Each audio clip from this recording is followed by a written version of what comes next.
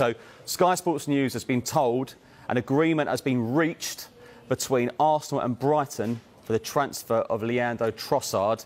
The fee is an initial £20 million plus add-ons, which could reach £27 million. Now, Trossard is expected to have a medical and finalise personal terms. And here comes the registration talk. If he's registered by midday on Friday, he'll be available to mm. face Manchester United in that huge game on Sunday. Mm. So, big, big news for Arsenal.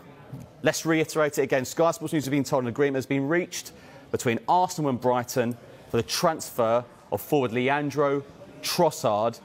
Fee initially £20 million plus add ons, which could reach up to £27 million. So, disappointment a few days ago for Arsenal in the transfer market.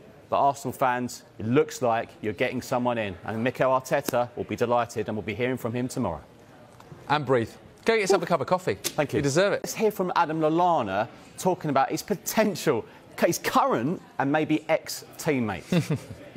He's got big numbers, but you know, you only need to look at the last three games without him, and I think it's been 5-1, 4-1 and 3-0. So as I said to you earlier, players can leave Brighton, but we've got enough without them. You know, we had enough without um, Bissouma, Cucurella, Ben White, Dan Burn.